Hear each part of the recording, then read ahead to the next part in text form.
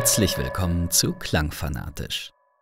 Was seit November 2021 an der Oper Halle gegeben wird, bewirbt das Haus völlig zu Recht als Ballett- und Musikspektakel. Doch langsam. Wer mich ein wenig kennt, wird fragen, Orlando im Ballett? Und tatsächlich konnte ich Ballett bisher nicht viel abgewinnen. Es geht mir da wie vielen MusikerInnen. Ich mache Musik. Mein Zugang zu Musik ist das Ohr, weniger der Körper. Tanz, Bewegung, Choreografie, das ist mir alles etwas fremd. Zwar, ich werde das für die Zukunft etwas korrigieren müssen. Als ich nämlich vergangene Woche im Rahmen des Studiums die Oper besuchte, wurden meine Erwartungen, nun ich würde gerne sagen, bei weitem übertroffen, da es sich um eine Hochschulveranstaltung handelte und ich inzwischen gelernt habe, mich durch Gleichgültigkeit vor Enttäuschungen zu schützen, hatte ich offen gesagt gar keine Erwartungen. Vielmehr war ich bis zuletzt unschlüssig, überhaupt abends dafür noch vor die Tür zu gehen. Froh, diese Gelegenheit doch genutzt zu haben, kann ich nicht genug betonen, wie besonders ich fand, was von Michal Sedacek und Ivo Nitschke, dem Ballett und der Staatskapelle Halle, an diesem Abend geboten wurde. Noch keine Ahnung vom Komponisten, wurde ich von Beginn an vom auffällig präsenten Schlagzeug mitgerissen, das sich aus den Streicher- und Bläsergruppen wirklich bemerkenswert hervortat. Als Drum-Enthusiast fühlte ich mich, erinnert an das ausgefeilte und kraftvolle Spiel Gavin Harrisons, gleich zu Hause. Auch glitzernde Gespinste einer reverb-versunkenen E-Gitarre verstärkten von Zeit zu Zeit den Eindruck eines Rockkonzerts. Dies alles überrascht nicht, denn wer hinter der Musik steckt, ist niemand Geringeres als Ivo Nitschke.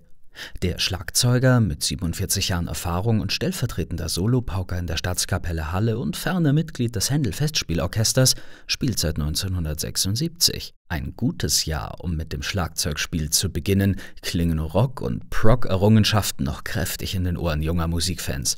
Auch ist es das Jahr Jacob Pastorius Debüt mit dem Album gleichen Namens. Soweit so konventionell, denken die Fans, auch mit einem ausgedehnten Percussion-Duett auf Gasflaschen und anderem Metallgerät wartet das Orchester auf. Das in mehrere kleine Stücke gegliederte Ballett erzählt ausdrücklich keine Geschichte. Wie bei einem Album hängen die einzelnen Teile jedoch ästhetisch zusammen und ergeben gemeinsam ein schlüssiges, kohärentes Ganzes. So geben sie dem Publikum ausreichend Interpretationsspielraum, während der Vorstellung eigenen Gedanken, Gefühlen und Bedürfnissen Gehör zu schenken. So lese ich Social-Media-Kritik heraus, als die TänzerInnen eine sich im grellen Licht rechteckiger LED-Flächen am Boden windende Tänzerin einkreisen und bedrängen. Auch das Gaffer-Phänomen kommt mir in den Sinn und schließlich tragen Bühnenbild und Aufstellung der TänzerInnen zu Assoziationen mit der erfolgreichen Serie Squid Game bei.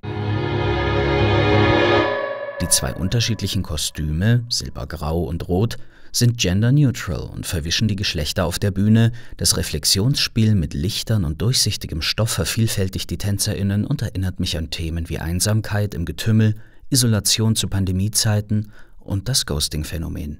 Überhaupt wird häufig mit dem Kontrast zwischen Gruppe und Individuum auf der Bühne gespielt.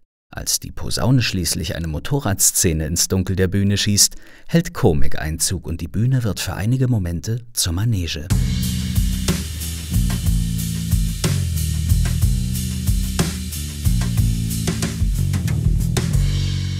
Immer wieder wird dem Tanzensemble das Orchester gegenübergestellt, das bei diesem Ballett nicht im Graben versteckt, sondern teils ins Bühnenbild gefügt ist und teils aus der Bühne herausgefahren wird, um inmitten des Geschehens für noch größeres Staunen zu sorgen.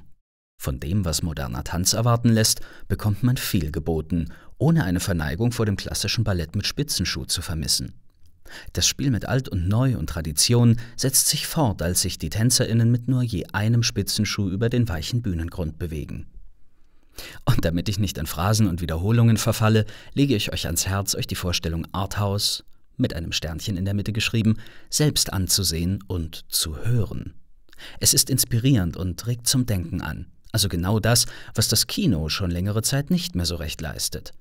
Nehmt euch einen lieben Menschen mit und genießt einen musikalisch reichhaltigen Abend mit viel fürs Auge. Bleibt gesund, bleibt klangfanatisch.